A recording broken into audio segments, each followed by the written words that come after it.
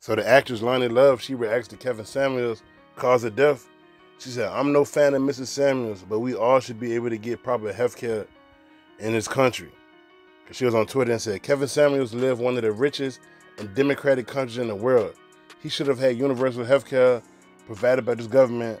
It may have helped him live a lot longer. And believe me, I'm no fan of Mrs. Samuels due to the way he included me in his talks, but I do not wish death on no one. We all should be able to get proper health care in this country. I mean, she right, but how does she know that he ain't have proper health care? Like that's the that's the only thing that I was kind of confused about. Like she didn't know if he, he had proper health care or not.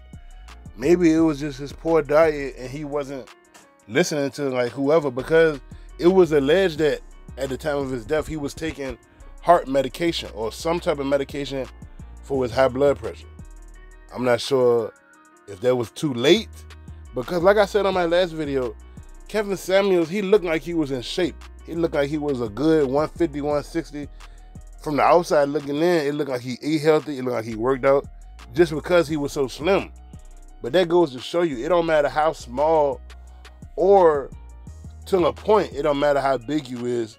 And, Like you still could be considered healthy. It just all depends on your blood levels, your salt, your sugar intake, all of that. How much you exercise, carbs, like stress. Like stress is number one factor to high blood pressure. So maybe it was a whole bunch of factors.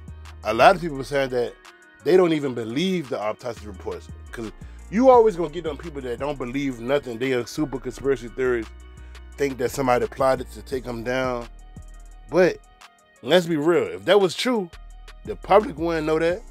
So it is what it is. But as far as we know, he died from high blood pressure, and Loni Love was just giving her a opinion, which I think about what she said. This is boy B. Sure like, subscribe. I'm out.